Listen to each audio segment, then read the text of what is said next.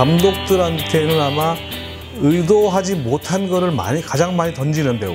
설경구란 배우는 본인이 할 수 있다라고 결정을 하면 그 역할은 다른 어떤 배우보다도 잘 했으리라고 생각합니다.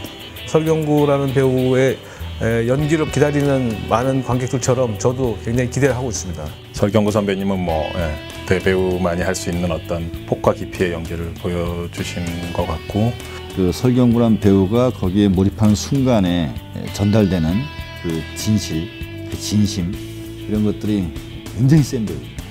박해일 씨도 폭넓은 연기에 되게 놀랬고 박해일이라는 배우는 묘한 긴장이 있어요.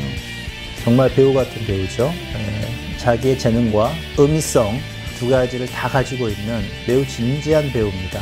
그러면서도 굉장히 디테일한 것을 놓치지 않는 천재적인 부분이 있는 배우입니다. 예. 박해일이란 배우가 아들로서 어떤 케미를 분명히 발휘할 것 같은데 본인의 포트폴리오에 또 하나의 의미 있는 작품을 맡은 것 같습니다.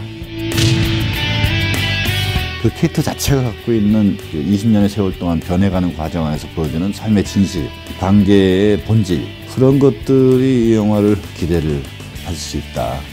요즘 뭐 사는 것도 팍팍하고 그런데 아버지 또는 아들에 대한 생각하면서 위로를 받고 싶은 분들이 보시면 다 되게 감동적일 것 같다는 생각이 들어요.